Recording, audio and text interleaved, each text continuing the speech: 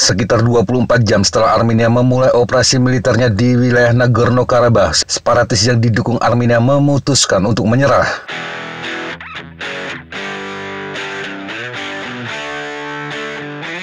Pihak berwenang di Nagorno-Karabakh menerima proposal gencatan senjata yang dibuat oleh pasukan penjaga perdamaian Rusia pada Rabu 20 September 2023, sehari setelah Azerbaijan melancarkan operasi militer di wilayah yang disengketakan. Gencatan senjata dimulai pada Rabu pukul 1 siang waktu setempat.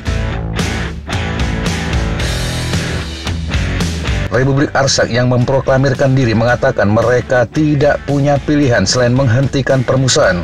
Kesepakatan memutuskan penarikan unit-unit angkatan bersenjata Armenia yang tersisa dari zona penempatan pasukan penjaga perdamaian Rusia. Selain itu pembubaran dan pelucutan senjata sepenuhnya dari formasi bersenjata tersebut. Kementerian Pertahanan Azerbaijan mengatakan pihaknya setuju untuk menghentikan operasinya. Para pejabat Azerbaijan akan bertemu dengan perwakilan komunitas Armenia di Nagorno-Karabakh pada hari Kamis di kota Yevlah. Pertemuan untuk membahas masalah reintegrasi berdasarkan konstitusi dan hukum Azerbaijan. Otoritas Republik Arsah mengatakan pasukannya kalah jumlah berkali-kali lipat. Ini menjadikan mereka gagal mempertahankan wilayah dari serbuan pasukan Azerbaijan. Pasukan lawan di beberapa bagian berhasil menembus pos terdepan tentara pertahanan. Mereka juga merebut beberapa ketinggian dan persimpangan jalan strategis. Sekitar 100 tentara mereka dilaporkan meninggal dalam pertempuran itu. Penyerahan diri juga didorong oleh kenyataan tindakan komunitas internasional untuk mengakhiri perang dan menyelesaikan situasi tidaklah cukup. Dalam pertempuran kali ini, separatis Armenia memang benar-benar ditinggalkan. Tidak ada dukungan sama sekali dari berbagai pihak. Pemerintah Armenia secara terbuka mengatakan tidak akan menurunkan pasukannya. Mereka menegaskan tidak ingin kembali terlibat perang dengan Azerbaijan. Perdana Menteri Armenia Nikol Pashinyan justru mendesak pasukan perdamaian Rusia yang menahan serangan Azerbaijan. Sementara dukungan dari Rusia juga nyaris tidak ada. Mereka hanya menyerukan kedua pihak untuk menahan diri. Usulan Rusia agar separatis menyerah juga menunjukkan Moskow benar-benar tidak lagi bisa mengendalikan keadaan.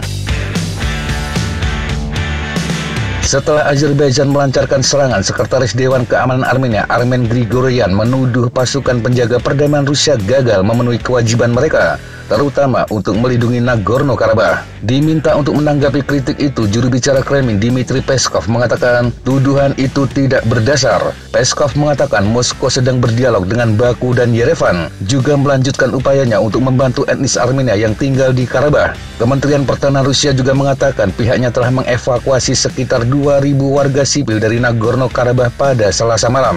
Selain itu, Peskov juga mengungkapkan Moskow sedang dalam proses mengatur pembicaraan telepon antara Presiden Vladimir Vladimir Putin dan Perdana Menteri Armenia Nikol Pashinyan. Pembicaraan dengan Presiden Azerbaijan Ilham Aliyev juga bisa dilakukan jika diperlukan. Lemahnya dukungan ini memunculkan tekanan di dalam Armenia. Dua aksi massa terjadi secara terpisah. Satu kelompok di kantor Perdana Menteri yang meminta Pasinyan mundur dari jabatannya karena dianggap tidak mau melindungi rakyat Armenia. Di tempat lain, massa juga memblokir kedutaan besar Rusia di Armenia. Mereka menyerukan agar Rusia keluar dari negara tersebut.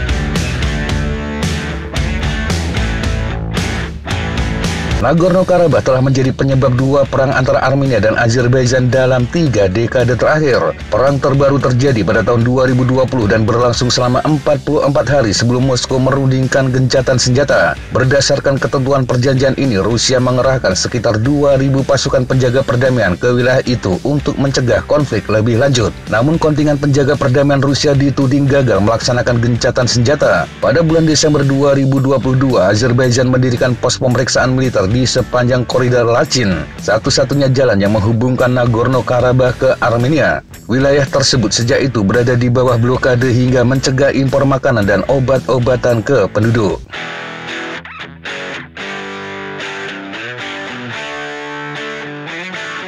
Demikian sahabat Jatapa informasi yang bisa kita sampaikan untuk kesempatan kali ini. Sampai jumpa di kesempatan yang berbeda. Tetap semangat dan jaga kesehatan. Salam, fly like an eagle, fight like a falcon.